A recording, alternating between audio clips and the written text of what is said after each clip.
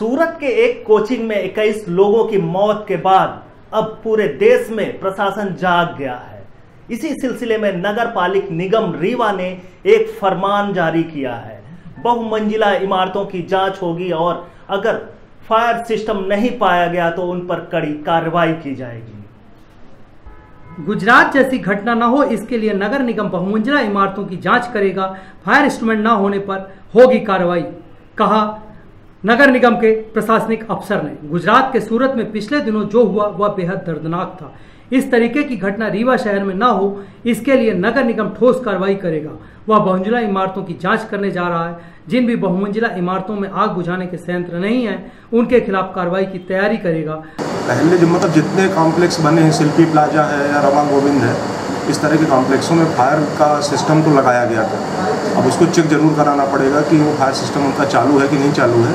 दूसरा, नगर निगम की दो फायर ब्रिगेड है, वो शहर में आग बुझाने का काम कर रही हैं और उसके लिए एक हमने टैंकर भी बनाया है, जो फायर में पानी फिलिंग करता है। अगर दिन मतलब तुरंत ख़त्म हुआ तो टैंकर भेज के फायर में पानी की फिलिंग कराते हैं और दो, हमने दो ट्रैक्टर और डीजल पंप लगा के बनवा के रखे हैं। तो तुरंत वो पानी लेके पहुँचते हैं और फायर ब्रिगेड में फिलिंग करते हैं। फायर ब्रिगेड को वहाँ से हटना नहीं पड़ता, ये व्यवस्था हम लोगों ने बना रखी है। और अगर ऊपर की मंजिल में आग लगती है तो उसके लिए अब चूँकि हमारे पास नए आधुनिक फायर ब्रिगेड है नहीं तो जो बिजली की मशीन है खम्भों में लगती है, उस पर आदमी चढ़ा के पिछली बार एक बार सिपी प्लाजा में आग लगी थी तो हमने इस तरह से कोशिश करके आग बुझवाई थी।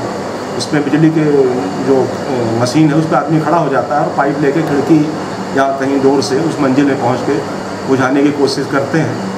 अभी लगभग हम लोग सफल तो हुए हैं। नया फायर ब्रिगेड मंगाने की व्यवस्था चल रही जो लगभग साठ लाख का है।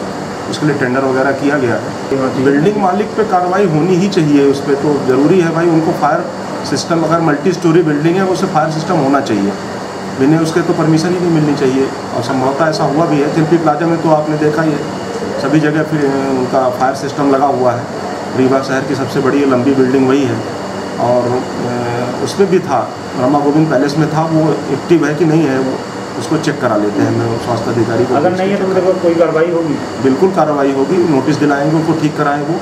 स्वास्थ्य अधिकारी को आज मैं निर्देशित करूँगा कि वो जाके चेक करें।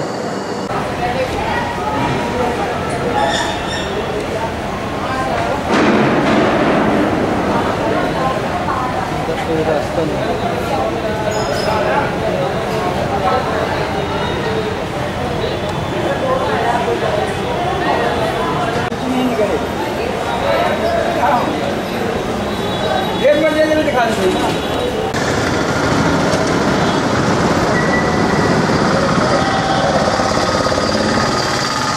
वहीं नगर निगम के पार्षद विनोद शर्मा बहुमंजिला इमारतों की व्यवस्था देखने निकल पड़े शहर की बहुमंजिला इमारतों पर।